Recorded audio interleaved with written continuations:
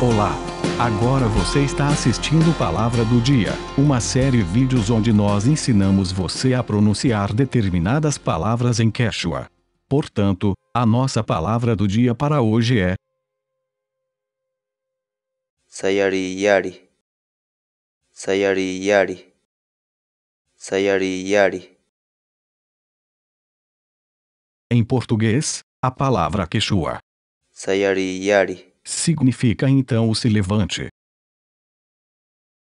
Por exemplo, Yao punho na Yari. Tente e baixe nossos programas de verificação ortográfica em Quechua, usando nossas aplicações web ou desktop. Vá ao nosso site sc.inantim.com